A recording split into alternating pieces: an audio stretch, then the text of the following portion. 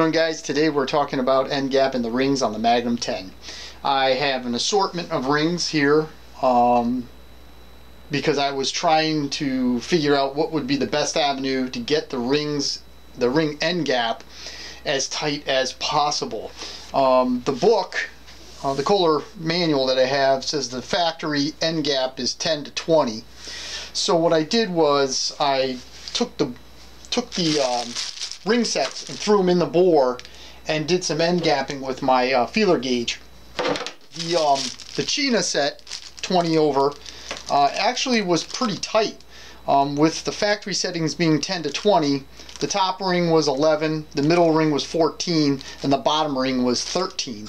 Uh, so right in there, right in spec, um, but it didn't have as in my prior videos, I just didn't feel confident with this ring set. It just seemed weird to me that it would have two top rings and not a top ring and a middle ring. The, uh, the next thing I have is a set of 20 over rings, uh, Kohler factories. They actually uh, measured out huge, um, 20, 15, and 20. So the top ring was 20, the middle was 15, and the bottom ring was 20. So it just just didn't that didn't work out for me. So what did we do? We got a 30 uh, a 30 over ring set and I end gap these to the bore to factory. So basically the top ring is worked out to be 13 the middle ring is 14 and the bottom ring is 13 so not right on 10 but not above 15 so we'll have good wear it shouldn't bind up or anything to that effect. In other words, once the motor gets hot, we should have plenty of good clearance. So that's how it all worked out. So right now we're going to run with a 30 over set, end gapped to 13 to the top, 14 to the middle, and the bottom will be 13. So that should be fine, close enough for what I'm going to do. And how do I do it? It's pretty simple. I will actually just use this ring set for example purposes. Um, initially, obviously with a 30 over ring set, it shouldn't fit in a 20 over bore. That's correct. I couldn't get the 30, uh, 30 over ring set into the bore, so that means I had to end gap it.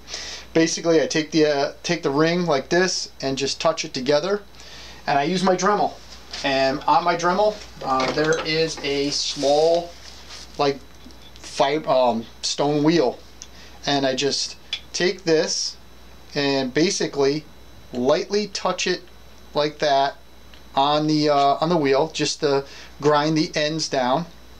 I'll do that you know you know slow very lightly touch being very cautious to keep the ring nice and straight or you know perpendicular to the stone so that way we can have a nice straight edge. And then I have a little an old points file I just file the ends just very lightly uh, just to make them smooth make sure there's no bur bur uh, burrs sorry not bores burrs uh, because we don't want to scratch the bore.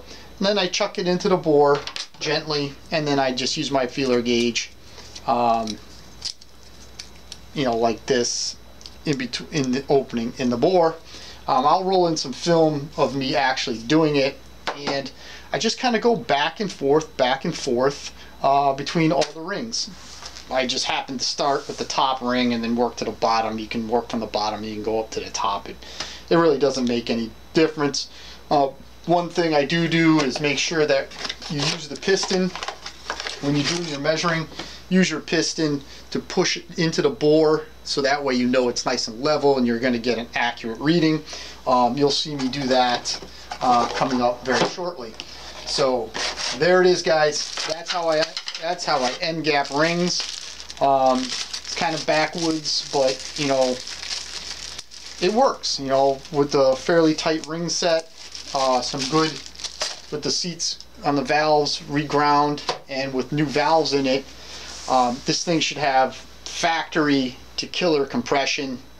And with that, let's watch me ruin a set of rings, right? Just kidding. We're going to end gap the rings right now.